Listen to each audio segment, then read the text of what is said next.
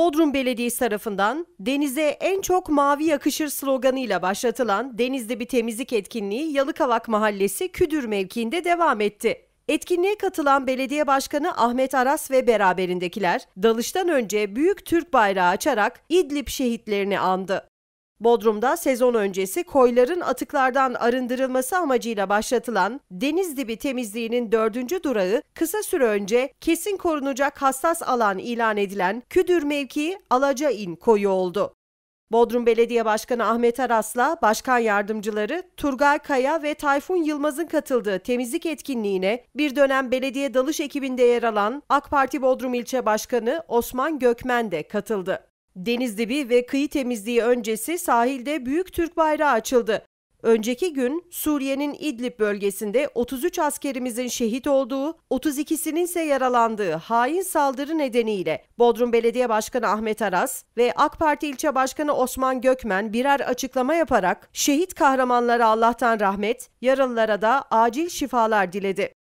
Bugün çok zor bir gün diyen Bodrum Belediye Başkanı Ahmet Aras, İdlib'de yaşanan olay nedeniyle tüm milletimizin başı sağ olsun. Şehitlerimize Allah'tan rahmet, yaralılarımıza acil şifalar diliyorum. Çok üzgünüz diye konuştu.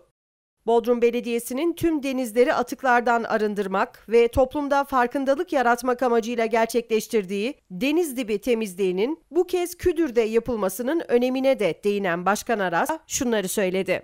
Bir yıldır neredeyse mücadele verilen halkımızın ve bizim mücadeleyle, ortak mücadeleyle e, uğraştığımız bu e, buradaki bir plaj kaldırıldı. Şimdi doğal haline geri dönmek üzere. Biz de bu bölgede bir e, dalış etkinliği yaparak denizin dibindeki yine e, atıkları da temizlemek için toplandık. Dalgıçlarımız e, Bodrum'un birçok yerinde yaptığı gibi bugün de Küdür'de bu işi yapacaklar. E, ve biz bu çalışmalara devam edeceğiz.